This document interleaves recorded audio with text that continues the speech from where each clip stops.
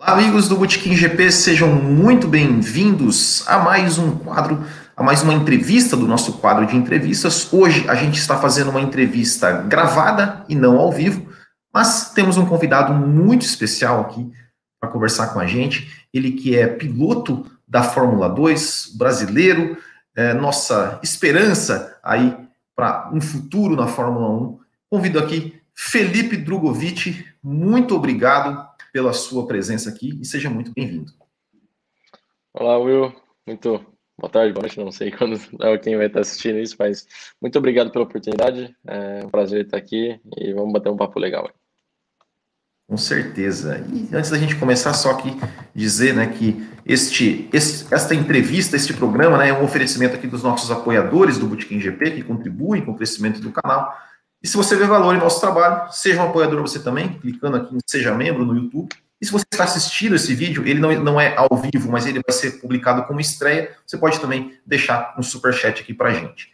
É, Felipe, é, a gente sempre começa aqui o nosso quadro fazendo algumas perguntas assim, voltando lá, lá para o passado, para a gente entender né, é, toda a sua história é, com, com o automobilismo. E a primeira pergunta que a gente sempre faz é qual é a sua primeira lembrança de Fórmula 1 de, ou de automobilismo, assim, em geral? Bom, a primeira lembrança, acredito que seja é, bom, minha família sempre gostou muito, sempre comentou toda vez que a gente estava reunido, todo dia eu ia para a empresa do meu tio, é, no almoço sempre falavam, mas, mas meu tio sempre comentou de automobilismo para mim. Mas eu, eu tenho uma lembrança muito legal que é, normalmente eu dormia na casa do meu tio de sábado para domingo, né, no final de semana, e, e, eu lembro de acordar domingo e acordar tarde, chegar só no final da corrida e tá o Schumacher vencendo. Então isso é uma lembrança bem legal. E, e, e foi, né, você, falou do, você falou do Schumacher, assim, foi o, o, Schumacher, ou foi algum outro piloto, ou algum carro, alguma coisa assim que despertou a sua paixão por, por, por Fórmula 1? Como é que, como é que é, é, essa, você viu, mas isso se tornou uma paixão que você falou, olha, é isso que eu quero para minha vida? Bom, acho que é, desde pequenininho eu sempre gostei já de assistir, né? Acho que não foi nenhum piloto específico, mas é, em si a categoria. E minha família nunca me forçou a nada, mas me incentivou no começo, né, me deu a oportunidade. E aí eu comecei com é, carrinhos de autorama, depois fui para os carrinhos radiocomandados, e, e dali eu testei um kart e, e gostei muito. E dali começou, eu comecei a pegar mais gosto pela coisa, então foi uma coisa bem natural. E você, você, é, isso, isso, você começou do kart, foi, foi em Maringá, é isso? Foi em Maringá. É, acho que a primeira vez que eu andei de kart, se não me engano, foi em Campo Mourão, que é uma cidade ao lado. Sim. Mas, sim, sempre ali eu comecei no nível bem regional. Ali. Você, você é de Maringá? Sou de Maringá, Paraná. Ah, nascido lá? Nascido. Nascido, ah, eu é... vivi lá até os 13 anos, 13, 14 anos, depois vim para cá por causa do, do esporte. Legal. Não, é que, é que eu tô te perguntando isso porque eu sou de Mandaguari, que é do lado de Maringá. É? Falei ah, há muito tempo ah, em faculdade lá, então. Ah, legal. região muito boa, né? Região muito boa. É, e, Felipe, e, e, dessa, dessa primeira é, experiência com kart, que você, você começou a, a andar de kart, é, é, desenvolveu sua paixão pelo esporte, como é que foi? Que a paixão acabou virando profissão? Bom, é, eu acho que desde que eu comecei, 2008, 2009, é, foi uma coisa bem tranquila, mesmo já fazendo no meu primeiro ano, Campeonato Brasileiro, é, nas categorias que no caso era Mirim, né, é a primeira categoria do kart, depois uhum. cadete, e eu, eu acho que eu despertou realmente a, a, a, deu um clique, né, realmente que eu podia fazer alguma coisa no esporte, foi quando eu ganhei é, o Campeonato Brasileiro de Kart em 2011. E ali sim eu pensei que eu poderia seguir uma carreira nisso. E, mas lógico, né? Você sendo muito novo ainda, acho que não, você não tem noção do, da grandeza de tudo, mas foi seguindo uma coisa bem natural. E tudo que eu corri praticamente eu consegui ter bons resultados ou ganhar. Então, assim que eu tinha bons resultados, eu conseguia ganhar, eu tentava ir para um nível acima, um nível acima. E foi assim que chegamos aqui na Fórmula 2. É, e, mas antes né, da Fórmula 2, você foi para o automobilismo alemão, né? No, no, sua primeira experiência né, com, com carros de, de Fórmula, né? E como é que foi, né? Como é que você foi, foi parar lá e como é que foi sua experiência né, no automobilismo alemão? Bom, primeiro de tudo, eu. Tá dando um eco. Não, é. pode, pode. Não, tinha, tinha, tinha dado um eco. Eu tava ah, tá. conseguindo ouvir minha voz. Ah. Mas é, eu saí do kart, o kartismo brasileiro, fui para o kartismo europeu em 2013. É, comecei a morar na Europa é, em 2014, fiz 2014, 2015 de kart. É, tive bons resultados, daí fui para os monopostos em 2016 e fiz 2016, 2017 na Fórmula 4 alemã. Para quem não sabe, é, a Fórmula 4 não tem campeonatos internacionais, só né, nacionais, né? E os dois mais fortes eram o italiano e o alemão, e até então o alemão era o mais forte. E sim, tive é, dois anos muito bons. Primeiro ano a gente optou por fazer um ano mais discreto, com uma equipe mais simples, realmente para eu aprender essa, essa passagem aí de, de um de um kart para um monoposto. Segundo ano, eu já tive bons resultados, foi o maior vitorioso do ano.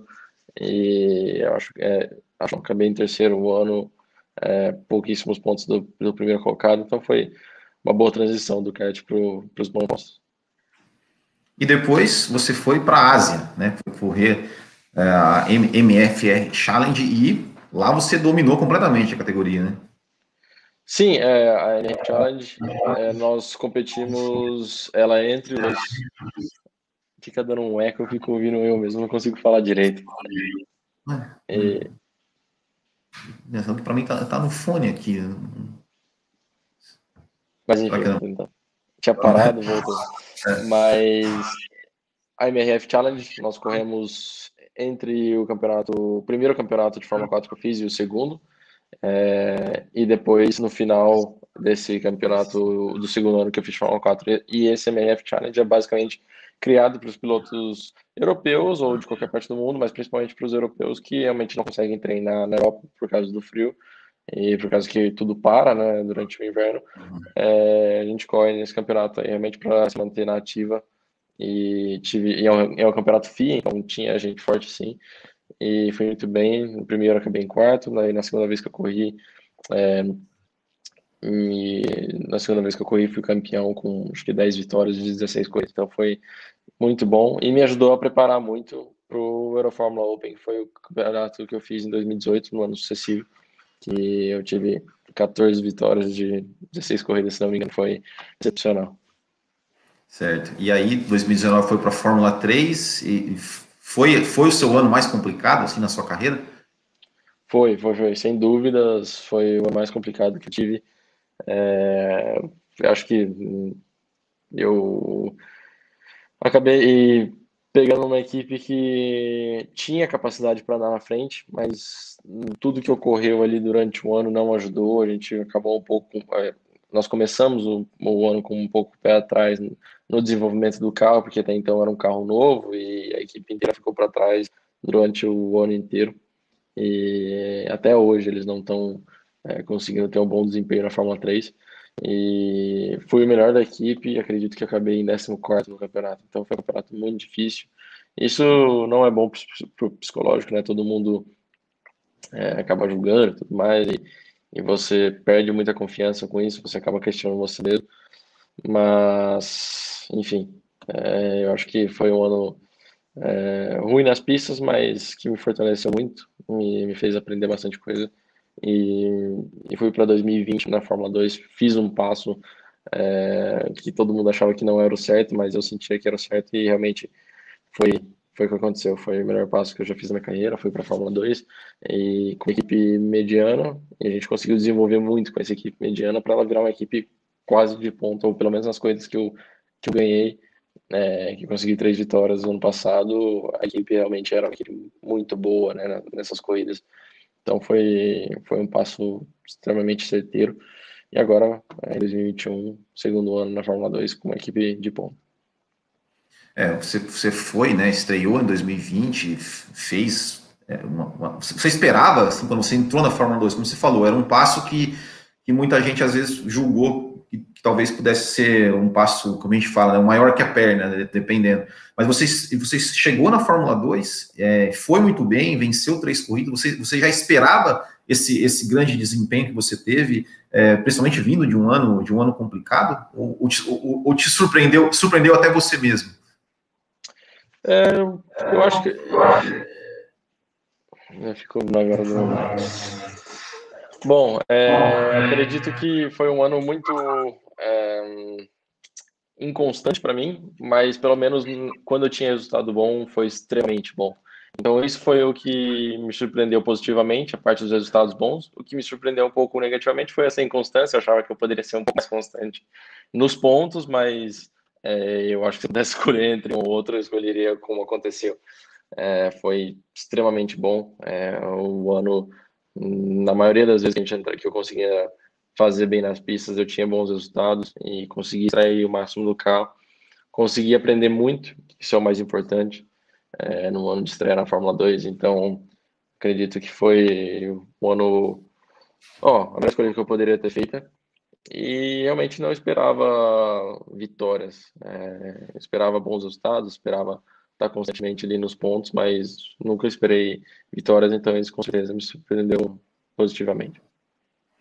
Legal. E agora, 2021, nova equipe, é, novo companheiro, um novo formato, né? E a, e a, primeira pergunta é com relação a isso, hein? sobre esse novo formato da Fórmula 2, com três corridas, qualificação, uh, qualificação, que daí essa qualificação vale só para a terceira corrida, é, dois grids invertidos.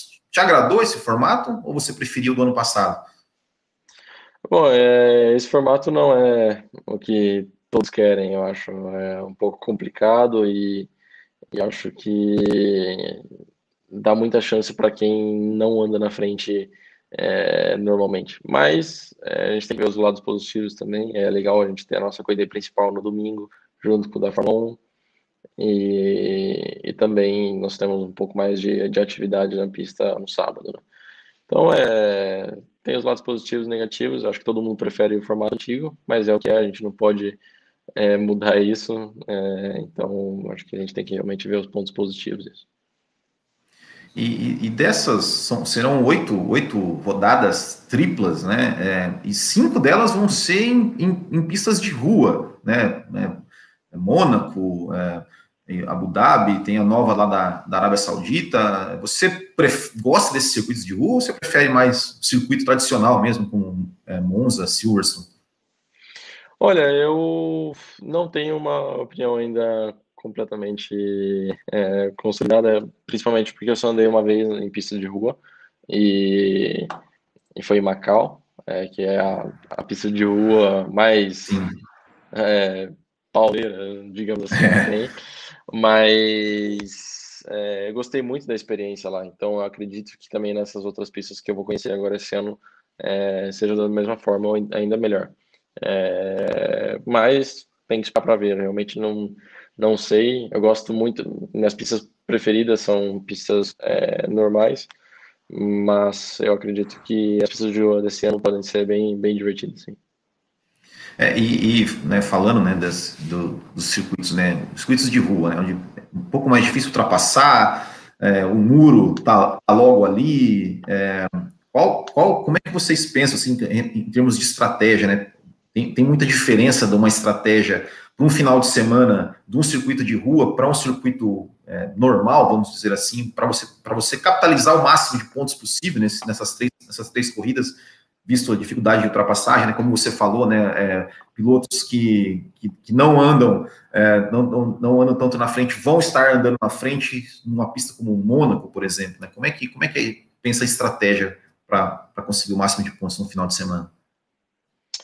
Bom, é, eu acredito que vai ser um pouco complicado é, para muitos. E, na verdade, ninguém sabe, né? Realmente, nós só tivemos uma oportunidade para ver como esse formato está funcionando e com certeza em pista de rua vai ser diferente, né? O, o nosso nossa técnica durante o final de semana para uma pista de rua é um pouco mais calma, digamos assim. Você tem que realmente pegar o ritmo da pista e e deixar o ritmo chegar até você, né, em vez de você forçar o limite do tempo, é, até porque você, hum, se você não conseguir completar o treino, é muito tempo de pista que você perde, e isso é extremamente importante. Mas ao mesmo tempo, você disse, é, antes é, classificação era 100% para uma corrida de, de pista de rua, né? E agora esse ano com esse formato diferente, talvez não seja tão importante assim. Logicamente todo mundo vai tentar fazer a pole, porque realmente é a melhor é, estratégia que tem, mas é, per, sim, perde um, algum, uma porcentagem de importância a classificação, sim.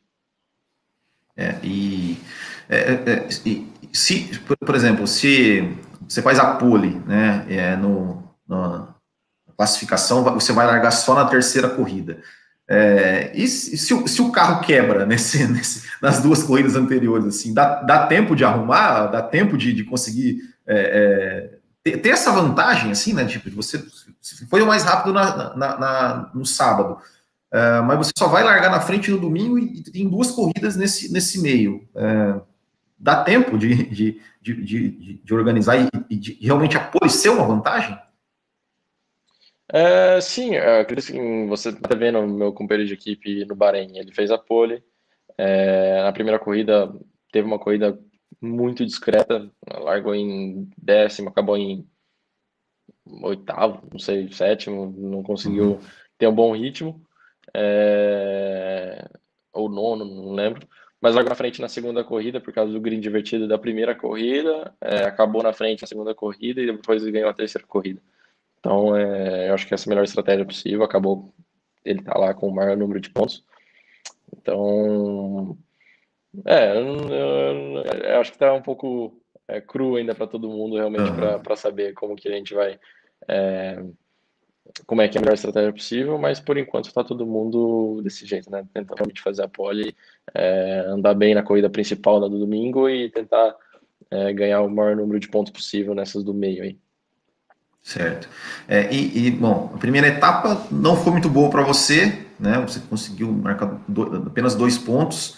É, quais foram os, os, principais problemas assim que você que você enfrentou ali no, ali no Saquio?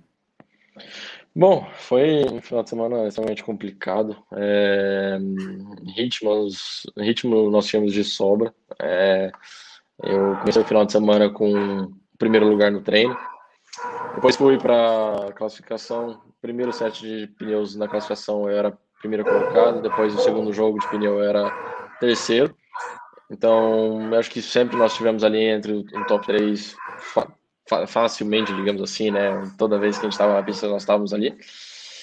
E depois, é, a primeira corrida, largando de oitavo, na primeira volta, estava com o meu companheiro na minha frente. Ele acabou é, tendo que desviar de um contato à frente, acabou freando no meio da reta para desviar de um contato e eu acabei encostando nele, quebrando minha asa, furando um pneu. Pois é, tive que parar no box para trocar asa e pneu, isso demora muito. Daí saí do box, fiz a corrida inteira com o pneu macio, que era o pneu melhor que tinha entre o macio e o duro. É, acabei chegando em 16, se não me engano. Daí, indo para a segunda corrida, largando de 16, tive uma ótima largada é, até quarto colocado. É, passei muita gente nas primeiras voltas, eu em quarto indo para terceiro.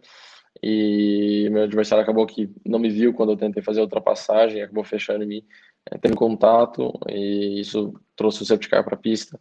É, todo mundo tinha o outro jogo de pneu para fazer o pit stop, eu não tinha, então na Fórmula 2 todo mundo sabe que você estando de pneu velho na frente de todo mundo de pneu novo é a mesma coisa que estar tá no gelo. Então, é, acabei fora dos pontos ali, é uma coisa que também estava fora do meu controle praticamente como na primeira, como na segunda, e na última, praticamente eu era um dos pouquíssimos pilotos que estava na estratégia de jogar com os pneus macios, acabar com os duros, e realmente não foi a estratégia certa, principalmente por causa do safety car. É, tivemos alguns acidentes na primeira parte da corrida, que era onde a gente deveria ter a nossa vantagem, né? é, e ganha, basicamente é, a gente deveria ganhar um pouco de vantagem para depois fazer o pit stop e o pessoal que estava na outra estratégia ganhar no final mas com esses é, esse que nós tivemos no começo da corrida, praticamente matou toda essa vantagem que a gente tinha. Então foi, foi bem complicado o final de semana, cheio de coisas que é, aconteceram fora do nosso controle, mas acho que tem pegar o ponto positivo que o ritmo era extremamente bom. Bom, e você está hoje 39 pontos né, da, da liderança do campeonato. É, você acha que ainda dá para buscar esse, esse, essa, essa, briga realmente pelo, pelo título? Ou, ou, ou, ou ainda vai, é, acha que de repente seu, seu objetivo nessa, nessa temporada já está mudando um pouco, de repente chegar ali é, top 3, alguma coisa assim, ou você não, você, ó, 39 pontos é difícil, mas eu ainda quero buscar esse título.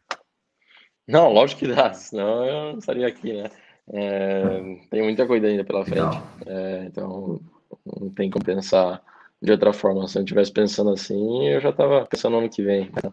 Tem como buscar ainda, tem como ganhar o campeonato por, por muitos pontos. Então, por isso que a gente está aqui. E eu acho que tem, a gente tem potencial para isso, porque realmente a equipe está trabalhando muito bem e eu sei que eu estou andando muito bem. Até jogando meu final de semana no Bahrein, eu jogo meu trabalho muito bom. Eu acho que eu fiz tudo que eu fiz na pista. É, foi bem, só, foram só fatores externos que é, impediram a gente de pegar muitos pontos também. É, e vocês fizeram testes né, em Barcelona essa, esse, esse, final de semana, né? E você foi o mais rápido é, e até elogiou bastante o carro, falando né, que o carro era muito bom né, em qualificação. É, e, e, mesmo com essas, com, com né, testaram em Barcelona e vão, vão correr em, em Mônaco, né, que são características totalmente diferentes. Né? Você espera esse, que o carro tenha esse mesmo desempenho em Mônaco, que vocês consigam andar, andar na frente? Bom, eu espero, espero que sim. É, logicamente, não tem nada a ver uma pista com a outra, então nunca andei em Mônaco, mas vendo os resultados da equipe no passado, Mônaco foi sempre uma pista que eles andaram bem. Então, estou confiante que eu posso andar bem lá também. Logicamente, é uma pista nova para mim, nunca andei lá, então vou ter que me acostumar bem rapidamente com a pista para realmente é, otimizar os resultados e, e trazer pontos para casa, que é realmente o que eu preciso agora, e de uma maneira segura, digamos assim. E mas eu acho que vendo é, o ritmo que a gente tinha em Barcelona, que a gente no Bahrein, é, tem que estar confiante sim que a gente pode trazer bons pontos para casa também em Mônaco. Você está ansioso para andar em Mônaco, assim, por toda a história, aquela, né, ser um circuito clássico, né, que está ali na Fórmula 1 desde o começo, é, ou não, para você isso não, não, não, importa muito, você, você não tem diferença andar em Mônaco como andar em Baku, por exemplo? Não, lógico que tem, lógico que tem, não tem como ir para Mônaco e não pensar na história também, então é uma coisa bem, bem legal, onde, de pensar que você está andando em Mônaco, onde todos os pilotos que já existiram, Senna, todo mundo, Nick Lauda, todo mundo já, já andou lá, então é realmente muito legal, gratificante também. Mas acho que a partir do momento que você fecha a viseira, a pista é igual como qualquer outra. Você tenta fazer andar em círculos mais alto possível, basicamente. Certo.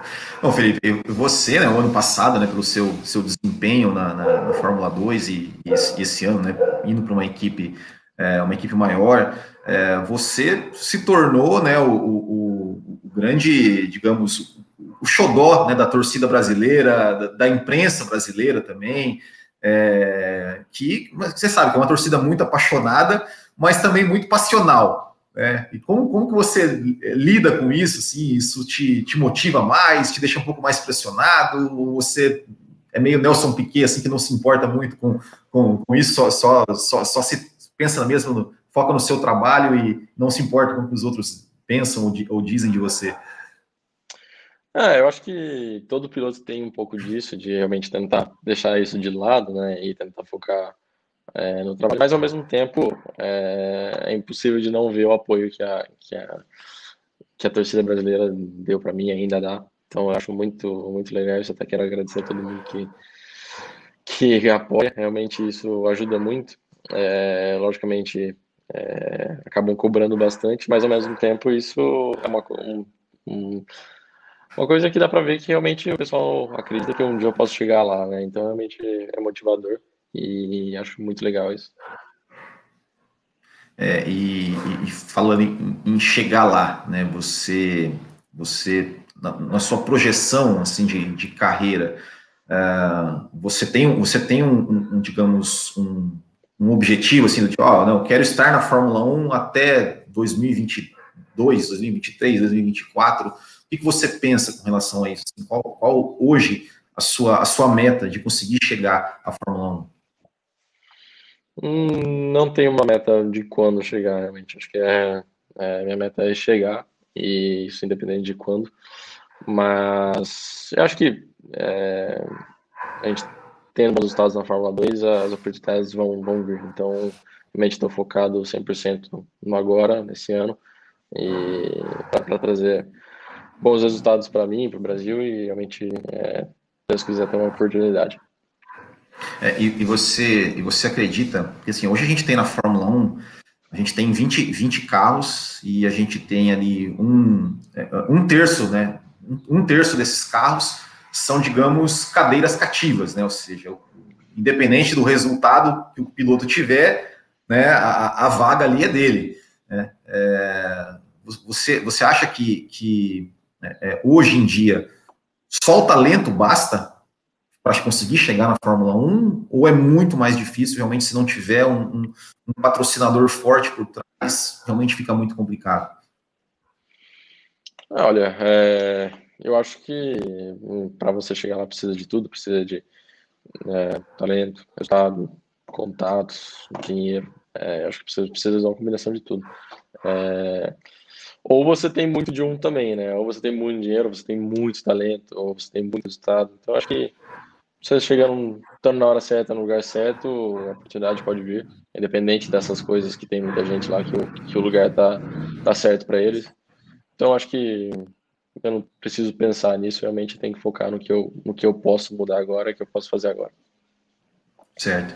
E, é, é e, e, você, é, muita, muita gente questiona, acho que você já deve ter respondido essa pergunta várias vezes, mas a gente tem que é, é perguntar aqui também, assim, muita gente questiona sobre, sobre a, a questão da, da, academia de pilotos, né? Hoje você não está em nenhuma academia de pilotos, é, que de um, de um lado abre portas, de outro pode não abrir tantas assim. Né? O que você pensa disso? Você, você é, acha que, que, realmente estar, estar fora de, uma, de, um, de um programa de academia de pilotos é, é melhor para sua carreira? Ou você pensa em, em de repente, é, entrar em, algum, em alguma academia aí no futuro próximo?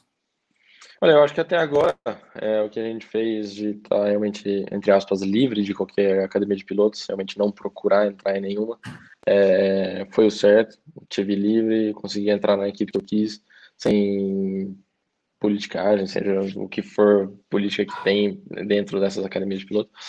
É, mas eu acho que para entrar na Fórmula 1 hoje em dia, realmente, todos estão entrando. É, os que não estão trazendo um caminhão de dinheiro estão realmente entrando é, com academias de piloto. Então, realmente, é, talvez é o, é o, caminho certo de ir. É, mas isso, eu preciso estar lá dentro só realmente na hora que precisar entrar numa vaga na Fórmula 1, né? Então, realmente, isso, até agora, eu acho que eu fiz o certo de estar livre, sem nenhum comprometimento com nenhuma academia. Mas daqui para frente, eu acho que pode ser o certo, sim, de tentar entrar em alguma. Certo. E, e, e hoje, né, assim, tem temporada de Fórmula 2 que você está. É, quem, quem você, você vê assim como os, como os pilotos mais fortes, né, assim, de, em termos de talento, independente de ter um carro bom ou não, é, mas quem são os pilotos que você acha são, são os mais fortes e também os seus principais adversários né, na, na, disputa aí pelo, pelo campeonato? Oh, olha, os pilotos mais fortes, é, eu, também acho, claro, sou, claro, mas, com certeza mas, não, brincadeiras à parte, eu acho que é, fora eu acho que tem muitos pilotos é, fortes ali de, de que estão é, já, como é que eu posso dizer, já estão muitos anos é, preparando em categorias de base para chegarem ali e estarem muito fortes. É, acho que todos que estão andando ali no top 10 são, têm capacidade para um dia chegar na Fórmula 1. É, isso dá para ver na, nas folhas de tempo, os tempos são muito próximos e realmente dá para ver uma diferença que você sente muito na Fórmula 2. Você está andando ou em primeiro ou em décimo na corrida, todos ali é, dá para ver dentro do carro que todo mundo realmente sabe andar, sabe atacar, sabe defender, sabe o que está fazendo ali. Então, é, o grid é extremamente forte. E, bom, eu acho que não consigo apontar nomes aqui para quem é uh, concorrente ou não. Acho que todos que estão andando ali na frente é, nas, digamos, nas quatro melhores equipes, cinco melhores equipes, todos têm realmente capacidade para estar tá andando ali. Então, é difícil apontar nomes nessa categoria. Certo. E, e para quem de repente não acompanha tanto assim a Fórmula 2 é, é, e, e é, quer conhecer um pouco mais do estilo do Felipe Drogovic piloto, assim, você né, é, se espelha em algum piloto da Fórmula 1? Você, digamos, é, é, acha, acha que seu estilo é um pouco parecido com algum piloto da Fórmula 1, seja da, da atualidade ou, ou do, do passado? É, acredito que não. Eu, eu, foco muito na parte técnica. É, eu acho que eu consigo é, ter sempre um bom entendimento do carro, o que está acontecendo. É, consigo dar um feedback muito bom para os engenheiros. E isso acho que é meu ponto forte, realmente. É, além de, normalmente, eu conseguir bem em classificações é, e também em corridas. Eu acho que você tendo um bom entendimento do carro, você consegue aplicar isso na classificação, em corrida. E eu sou um cara é, calmo fora da pista, é, dentro também, gosto de é, ser mais técnico do que instintivo, digamos assim. Mas ao mesmo tempo, acho que você tem que ter o, balanço certo, né? Você sendo técnico demais não, não, não dá certo, você sendo instintivo demais também não dá certo. Acho que você tem que ter um balanço certo e é isso que eu tenho, tento sempre né? Sempre esse é o meu objetivo. E nas corridas também, tento ser é, agressiva, isso é, é, de mim, eu sempre, sempre fui assim. E acho que é, a maioria dos pilotos que você pode ver na Fórmula 1 são dessa forma agressivos, né? Então, acho que não tenho, eu não tenho com quem comparar, me comparar na Fórmula 1, mas tem eu e, e eu tento sempre melhorar quem eu sou como, como pessoa e piloto. Legal, legal. Eu gosto, gosto muito da sua, da sua, da, da, da sua postura, assim, de, de, de, realmente autoconfiança. É muito, muito legal mesmo, muito legal mesmo. Parabéns, é, é eu, eu, acho, acho, admiro muito isso, admiro muito isso. Tenho certeza que, os, que o, quem, quem estiver assistindo a gente também, a grande maioria vai, vai, é, vai também admirar, porque realmente é, você, você é um, é um, parece ser um cara bem centrado e bem, e bem confiante no, no que você faz, né? Isso, um esporte altamente competitivo, altamente, às vezes até cruel, né? Com, com o piloto é realmente muito, muito bom. É, mas eu, eu falei de, de, é, de Fórmula 1, assim, só rápido, você, você tem acompanhado a Fórmula 1? É, é, acha que esse ano a gente vai ter uma briga pelo título entre entre Hamilton e Verstappen. E claro, né, dá, dá o seu palpite aí para o GP de Portugal, que vai, vai ser esse final de semana. Bom, é, respondendo a primeira pergunta, é, bom, primeiro de tudo, agradecer, é, obrigado pelas palavras aí, é muito, muito, legal ouvir isso de alguém. E, bom, sobre o GP, para o resto do ano, acredito que o Verstappen vai dar trabalho para o Hamilton, mas no final das contas não tem jeito, eu acho que a Mercedes ainda está muito na frente, acho que eles realmente é, na minha opinião, posso estar completamente errado também, né? Mas acho que realmente eles já estão focando muito em 2022 e por isso eles não tiveram esse passo tanto à frente. Até porque mudaram o composto de pneu para esse ano e realmente quando eles testaram esse pneu ano passado, é, no final do ano, eles não gostaram e até no treino não foram bem por causa disso. Mas acho que quando tudo conta, eles colocam tudo junto e estão ali brigando na frente. Realmente, se eles se eles voltarem a focar um pouco esse ano, porque estão vendo que estão em dificuldade com a Red Bull, acho que eles vão crescer mais do que a Red Bull esse ano. É... E para o GP agora de Portugal, vendo os resultados no passado, acho que não vai ser muito diferente, não. Acho que é, o Hamilton está ali na frente, Bottas está com dificuldade ali, não sei, mas Verstappen acho que vai ser bem, bem básico. Vai ser Hamilton primeiro, o segundo Verstappen, mas tomara, tomara que eu esteja errado, tomara que tenha uma boa briga para todo mundo assistir. eu, eu, costumo falar, né? Tomara, tomara, que os dois batam, o Norris vença e lidere o campeonato, né? Seria. Seria é, é, maldoso isso aí. Não, é porque eu, eu, eu, eu, tenho, eu tenho uma preferência pela Mari, né? Mas enfim. É, é, é, o Felipe, e, e a gente tem ainda praticamente é, é um mês né, para a etapa de Mônaco, né? E quais são as atividades né, que, você, que você faz você vai fazer né, daqui, daqui até lá, é, e, e, mesmo né, o, que, o, que, geralmente você faz né, nesse, nesse intervalo, que esse ano vão ser bem maiores né, entre, entre etapas. Bom, é, o que eu vou fazer agora nesse intervalo é basicamente igual a todos os outros, realmente é tentar focar na parte física, né, tentar me preparar fisicamente o melhor possível. É, também simulador é muito importante, principalmente para Mônaco, pistas de rua. É, eu tenho esse simulador aqui em casa, que está aqui do lado, e uhum. tem, tem simulador que a equipe usa que é realmente é, muito mais profissional do que, do que os que a gente tem em casa, né? Então, é, nós vamos ter alguns dias de simulador é, com a equipe antes de Mônaco, e realmente vou tentar focar muito fisicamente também e mentalmente. Eu acho que é uma parte importante você chegar lá tranquilo, com a cabeça no lugar certo e, e focado no que realmente precisa focar e já, já ter, é, como é que eu posso explicar, a parte do caminho andado realmente, na parte psicológica, né? Você, principalmente na pista de rua, você né, tem que saber o que você vai fazer, começar um pouco mais tranquilo, é, tem que ter esse approach diferente aí para o final de semana é, de pista de rua. E, e, vão ter mais testes é, ao longo do, do ano, é, igual teve agora em, em Barcelona, ou, ou não? Não, ou não? não já Só... acabaram todos os testes acabar dando certo. Só mesmo, agora só mesmo as, as, as corridas, né?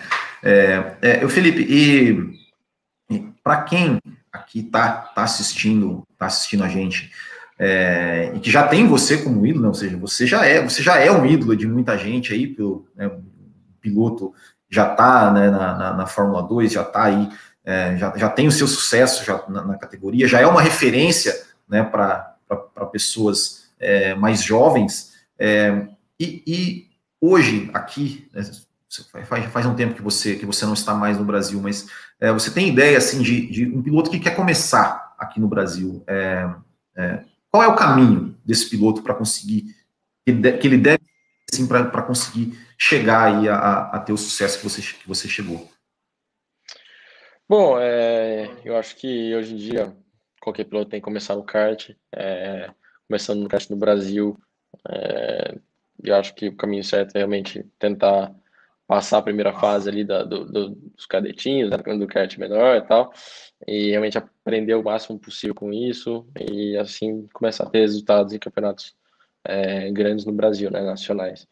E eu acho que, é, infelizmente, é, é assim, mas não tem outro jeito do piloto crescer assim que ele tiver oportunidade e, e condição, seja financeira ou, ou de qualquer outra forma, tem que vir para a Europa, realmente é, é onde as coisas acontecem.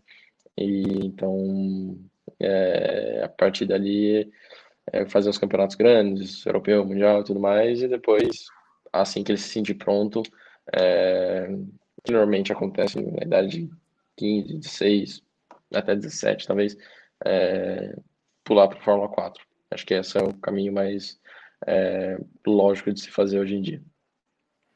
É, e em nenhum momento da sua carreira você pensou, por exemplo, você falou em Europa, você não, em nenhum momento da sua carreira você pensou em, por exemplo, ir para o automobilismo americano? Foi sempre, foi sempre o europeu? Você, você, você foi seu objetivo? Ou chegou em algum momento cogitar essa possibilidade? Não, nunca cogitei. Logicamente, antes de ir para a Fórmula 2, agora tinha a opção de ir para os Estados Unidos, mas acho que é, eu já fiz uma corrida nos Estados Unidos também. E por mais que eu goste do, da mentalidade de lá, de como funcionam as coisas, eu ainda prefiro muito mais automobilismo europeu.